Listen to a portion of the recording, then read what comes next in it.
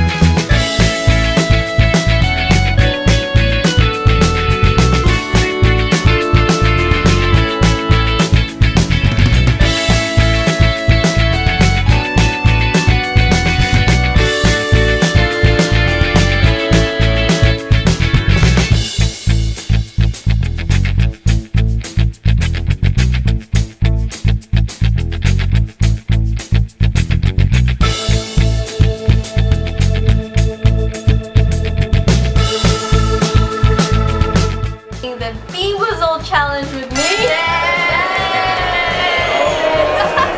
we have like a bag of jelly beans and we already sorted them out